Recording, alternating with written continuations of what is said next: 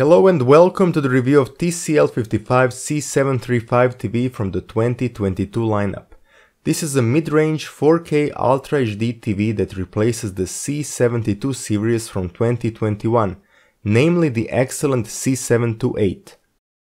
C73 offers a similar list of features but expands it mainly for gamers with support for AMD FreeSync Premium and maximum refresh rate of 144Hz. In addition to that, the new series is available in a much wider range of screen sizes from 43 up to 98 inches. Let's see how well the 55 inch version did in my test. C73 is positioned above the C63 series and below the C83 series. C63 is a 60Hz QLED TV designed for those who mainly want to watch video content and are not interested in advanced gaming. C73 has a high refresh rate panel and supports up to 144Hz refresh rate via HDMI ports, which is something fans of fast-paced content and gaming will appreciate.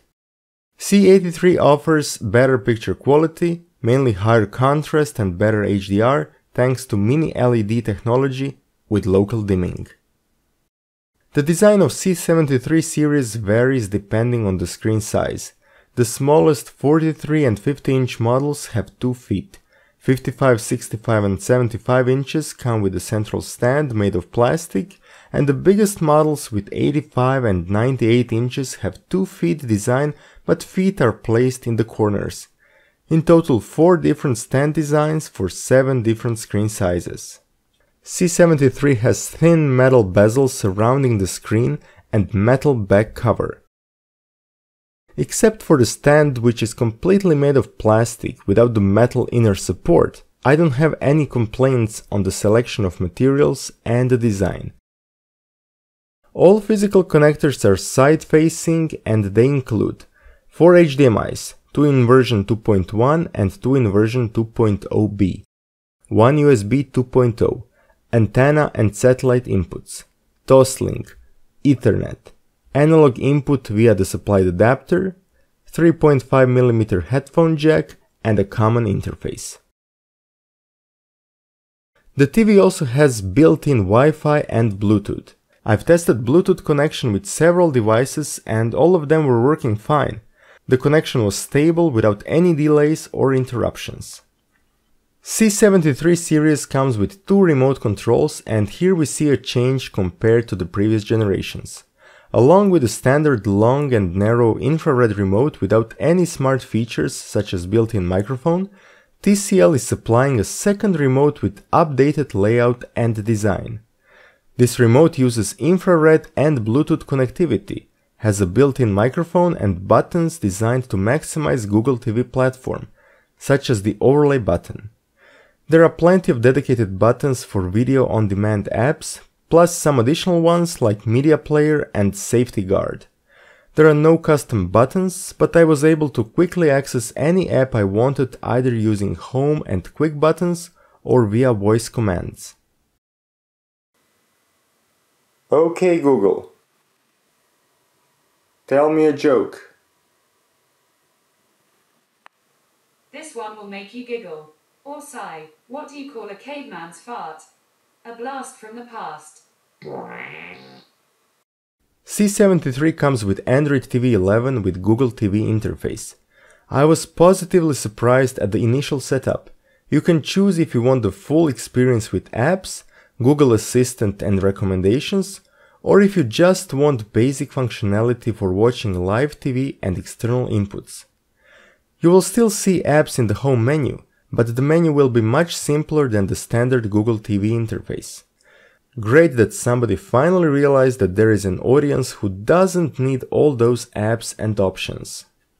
On the other hand, Google TV interface is similar to that of Android TV 11, but with a more elegant home menu as well as several overlay menus like quick panel or settings. Clearly the focus is on apps and content available online. The platform worked fine during my test, fast and almost perfectly stable. All the video on demand apps played content without dropped frames or other issues seen on older Android TV platforms. I'll be making a separate video in which you will see how it works in real time and which options are available. If you haven't already, subscribe to my channel so you don't miss it. With the same panel and picture processor as C728, it was no surprise that C735 performs almost exactly the same as its predecessor. Again we have a VA LCD panel, direct LED backlight without local dimming, and quantum dot technology to enhance colors. Measured ANSI contrast was similar, as well as the maximum brightness. Since everything that I said in the review of the C728 model applies here, you can watch that review for more details. The bottom line is that you are getting overall a really good image quality with good contrast, sharpness and color accuracy for all kinds of content.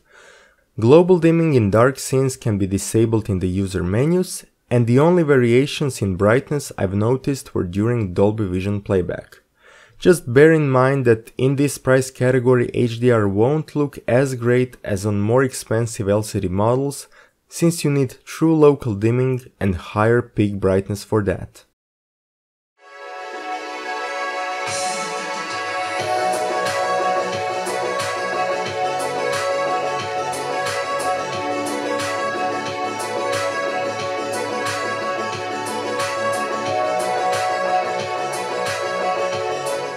Sound quality is exactly the same as on C728. Good for this price category, but nothing that really stands out. As always, I recommend connecting the TV to the AV receiver with at least stereo speakers. I've tested audio return channel or ARC functionality by connecting the TV to the Denon AVC-S660H AVR with an HDMI cable. By doing so, I was able to get multi-channel Dolby Digital Plus from streaming services, which is something most of us will use. In case you require eARC connectivity, consider that in my test I was only able to get 7.1 DTS HD master audio. Dolby True HD signal for some reason was not arriving to the AVR and it would play Dolby Digital Plus at best. Except for 144Hz max refresh rate and support for AMD FreeSync Premium, other aspects of gaming were the same as on C728.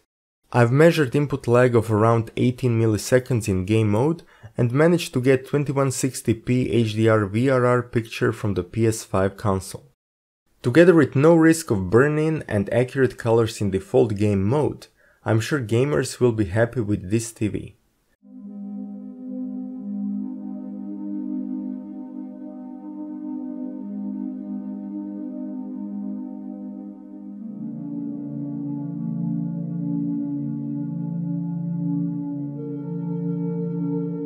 Okay, time to wrap up this review.